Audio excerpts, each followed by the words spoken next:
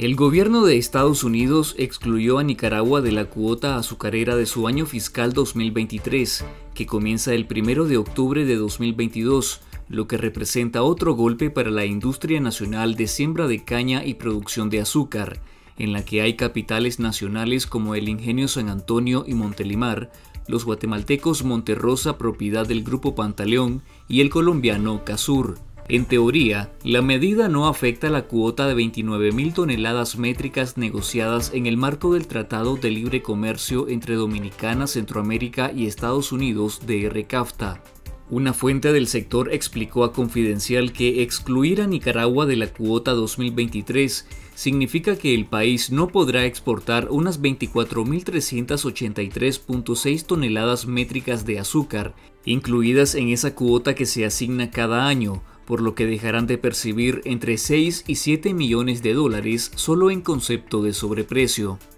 La alta producción azucarera estadounidense es insuficiente para cubrir la totalidad de su demanda anual, por lo que negoció una cuota anual en el marco de la Organización Mundial del Comercio, que se distribuye entre las naciones que tienen capacidad adicional para venderle el producto a un precio preferencial y con aranceles más bajos.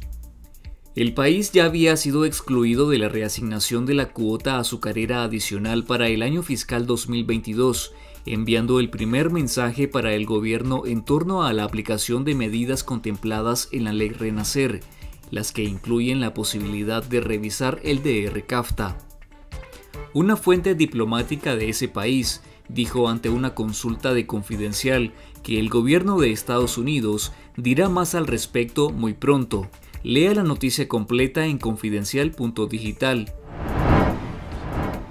Estados Unidos calificó este miércoles 20 de julio como una dictadura total al régimen orteguista minutos después que el Departamento de Estado de Estados Unidos publicó el informe de actores corruptos y antidemocráticos enviado al Congreso de Estados Unidos en que se hace efectiva la sanción contra 13 jueces y 10 fiscales involucrados en violaciones a los derechos humanos en Nicaragua.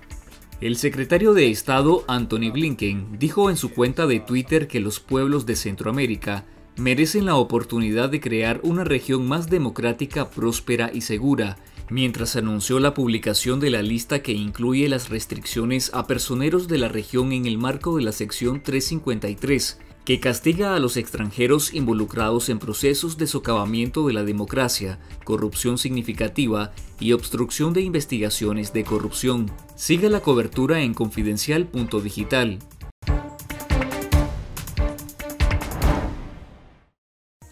Gracias por ver este video y si aún no lo has hecho, suscríbete a nuestro canal en YouTube, activar las notificaciones para recibir las noticias del momento sobre Nicaragua. Tu respaldo a Confidencial es imprescindible para seguir informando y para ganar la batalla de la verdad.